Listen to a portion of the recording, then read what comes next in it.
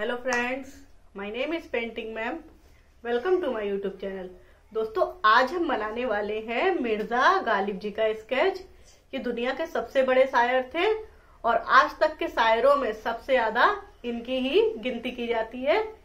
दोस्तों, अगर आप हमारे चैनल पर नए हैं तो चैनल को सब्सक्राइब कीजिए वीडियो को लाइक कीजिए और एंड तक हमारी वीडियो ज़रूर देखिए। तो आइए, अब हम वीडियो स्टार्ट करते हैं।